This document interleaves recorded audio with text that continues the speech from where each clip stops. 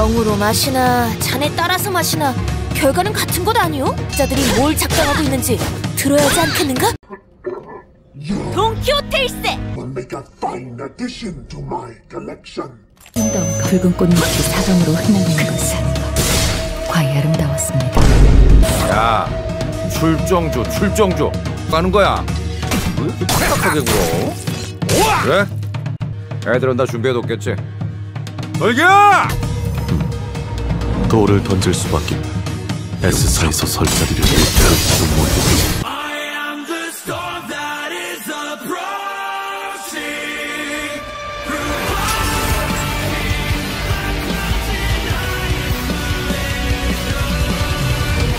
치열했으나 좋은 끝내기였다. 이제 우리의 활로를 찾을 수 있겠다